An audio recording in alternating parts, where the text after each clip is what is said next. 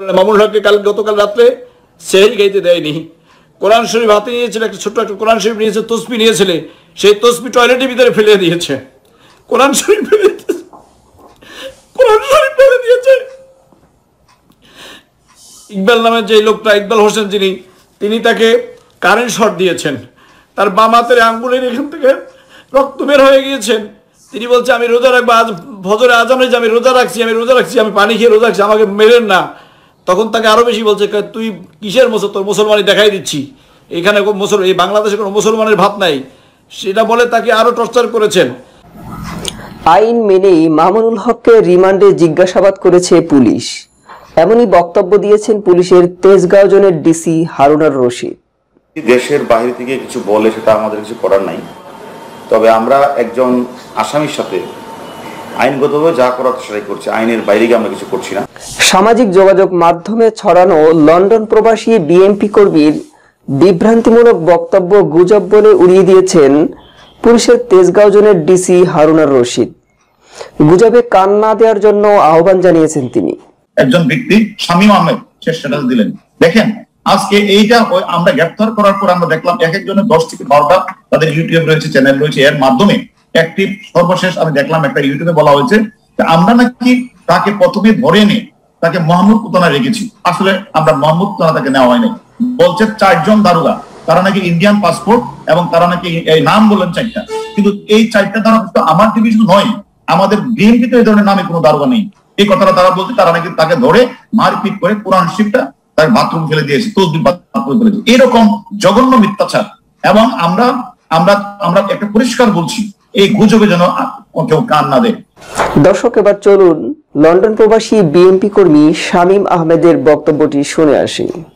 গতকালকে যারা আল্লামা মামুল হক সাহেবকে টর্চার করেছেন তারা চারজন হল পুলিশ অফিসার।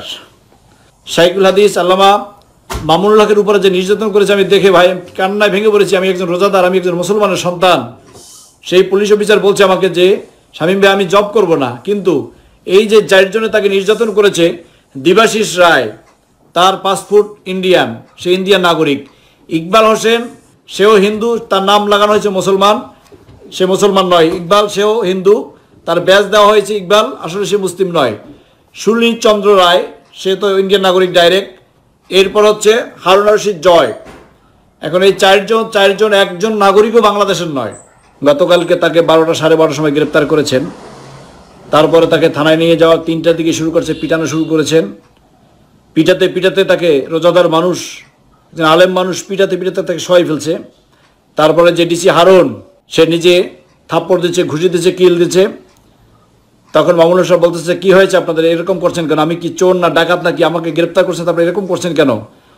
তারপরে তাকে দুই হাত বেঁধে, দুই পা বেঁধে টর্চার করেছে ইফতারির পূর্ব মুহূর্তে। মুমূর্ষ অবস্থা হয়ে গেছে, তখন তিনি পানি পানি চিৎকার করেছেন, পানি পানি চিৎকার করেছেন। হঠাৎ করে দেখতেছে, ঘরের দিকে তাকেই দেখতেছেন যে ইফতারি টাইম হয় না কিন্তু বেহুশের মতো হয়ে গেছে। দাড়ি ধরে পিঠের উপর আঘাত করেছেন। আল্লামা মামুল্লাহের উপর টর্চার করেছেন গত রাত্রে। গ্রেপ্তার করা, তাকে গ্রেপ্তার করার দুই ঘণ্টা পর থেকে শুরু হয়েছে তার উপর টর্চার। আজকে করে আনার আগ পর্যন্ত চলছে তার টর্চার হাঁটতে পারছে না। তাই পায়ে বেরো লাগানো, হাত দুই হাতে হ্যান্ডকাপ লাগানো। তারপর তাকে নিয়ে গেছে পুলিশ রিমান্ডে। পুলিশ রিমান্ডে পুলিশ ইয়া করার জন্য, জিজ্ঞাসাবাদের জন্য। ধরে দিবাশিস রায় তাকে কাপড় চোপড় খুলে, শুধু একটা আন্ডার প্যান্ট পরা ছিল আর একটা গেঞ্জি ছিল, সব খুলে মানে জরুরাতের মতো কি জানি একটা লাঠি দিয়ে চাবুকের মতো পিঠাতে পিঠাতে তে রক্তাক্ত করে ফেলছে। এরপর তাকে আজে বাজে যত গালাগালি আছে, মারপিট করেছে মানে কি বলব, বলার মতো নয়। এই পুলিশ অফিসার বলতে বলতে কেঁদে দিয়েছেন। বলছে, স্বামী আল্লাহ রাস্তে রোজার মুখে আপনাকে বলছি রোজা মুখে আপনাকে বলছি, আপনি রোজাদার, আমি রোজাদার। এই লোকটাকে, আলেমটাকে একটু বাঁচান। ভাগ্যের নির্মম পরিহাস, গতকাল রাত্রে সে টেমি সেই রেখেই তো উঠছে, তাই বলছে, আমি সেই রেখে আমি রোজা রাখব। তাকে ধরে এই দিবাশিস রক্তাক্ত করে ফেলছে। তোর মুসলমানগিরি ছুটিয়ে দেবো আমি। তুই বড় বড় কথা বলছো তুই জঙ্গি, তুই তালেবান, তুই হরকাতুল জেহাদ, তুই আমাদের হিন্দুদের তুই আমাদের ধর্মের বিরুদ্ধে করে